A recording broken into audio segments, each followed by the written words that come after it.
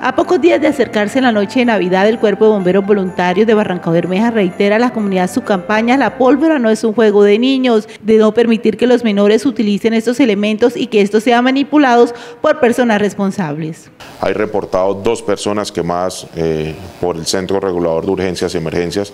uno de ellas mm, que llegó de un eh, departamento diferente a Santander, más exactamente el municipio de Yondó, mm, eh, digámoslo así,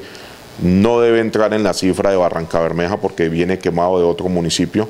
pero sí la lesión de este menor de edad desafortunadamente con, con pólvora, el cual nos marca, digámoslo así, la oveja negra el punto negro en el sentido de nuestra campaña y de la campaña de todos. Igualmente recomendó a los conductores tener sus papeles al día, principalmente el seguro obligatorio, ya que la mayoría de las personas que se han accidentado no cuentan con su respectivo SOAT. Igualmente pidió prudencia a la hora de conducir. Ese es el pan diario de cada día, tenemos eh, que reportar y hacer y muchas veces con la ayuda de ustedes mismos se le ha solicitado a los conductores que cumplan con todos los requisitos. Uno de estos es el seguro de accidentes eh, tipo SOA,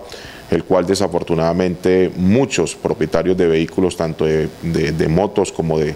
de vehículos como tal no lo portan o no está al día. Esa es la invitación para que cumplamos con nuestras normas de tránsito y así evitemos muchas sanciones o inconvenientes. Por último, pidió a la comunidad revisar las redes eléctricas y no excederse en las instalaciones, principalmente en las de Navidad, ya que en los últimos días algunos incendios han sido provocados por no tener en cuenta estas recomendaciones. El fin de semana pasado se atendieron dos incendios, a cual la misma comunidad decía que al parecer